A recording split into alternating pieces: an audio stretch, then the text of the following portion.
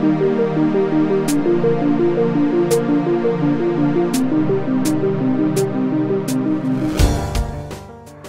really excited that we're trying this new way of fixing potholes in our roads in Brent. It's a method that's relatively new, pretty innovative, it's been used in rural locations for some time along country roads, but more and more is being used in urban environments.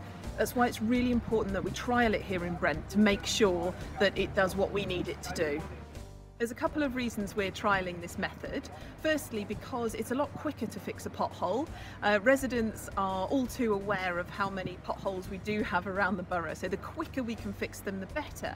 And that also means we don't have to close the road, which is hugely disruptive, I know, for residents, and also means it takes us much, much longer to get a, a whole road complete.